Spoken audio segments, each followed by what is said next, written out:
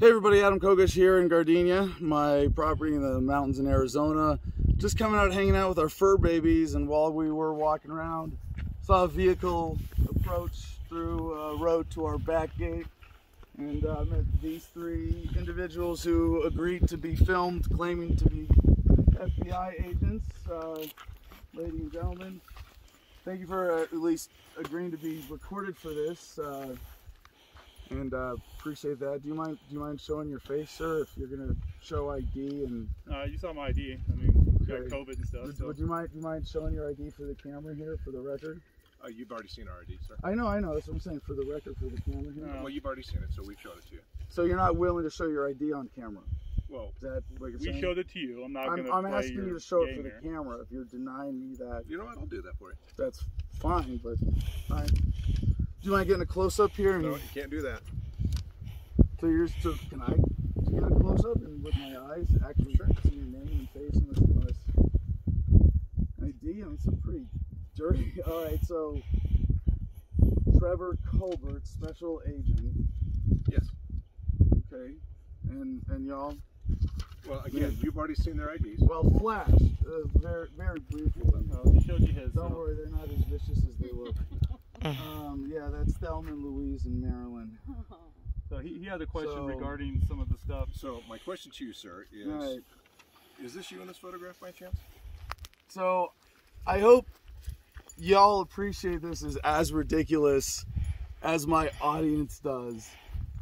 This sounds like a prank. I'm still not convinced that you're FBI agents from that, just so you know. Like, this is just too funny. You're showing me a picture of someone at the Capitol riot of Ju- of January 6th of this year Yes. and it's a picture from slate.com because it's a dude with a beard who looks vaguely like me that says Trump is my president on his t-shirt. No, I don't think it's I, you. I am not now, nor have I ever been a Trump supporter. I did a show here. I, I was actually, um, I, we've covered this extensively, but uh, I, I was actually uh, nowhere near DC on so. January 6th. There's, I, I mean, I. Are you guys just here as FBI just checking a box on some ridiculous, huge administrative thing that you just gotta like?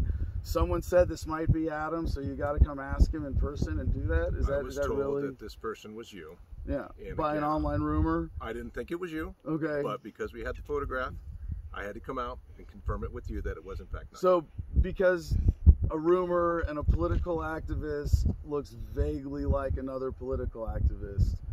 And this is this is a friendly. This is the extent of your visit and questions for me at this point. yes, for me, yes. Wow.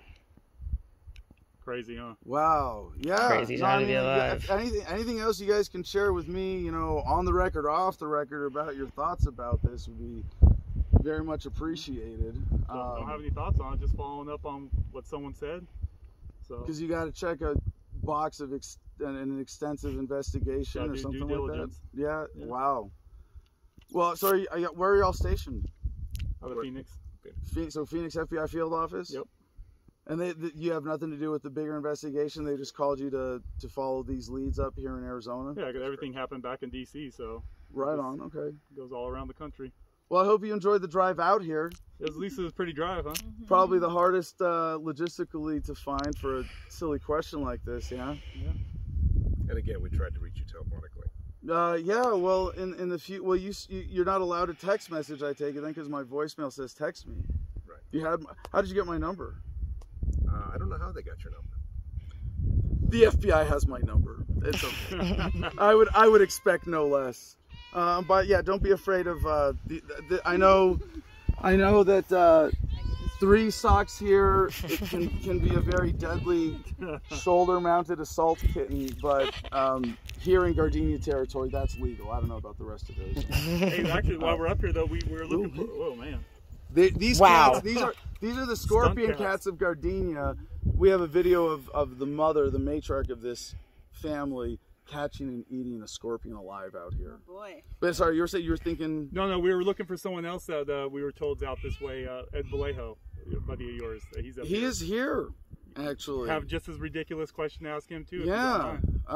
Um, I'll go get Ed. why don't, well, uh, let's see. Why don't we just holler for him so we can just stay here and keep recording? Hey, Ed, can you hear me?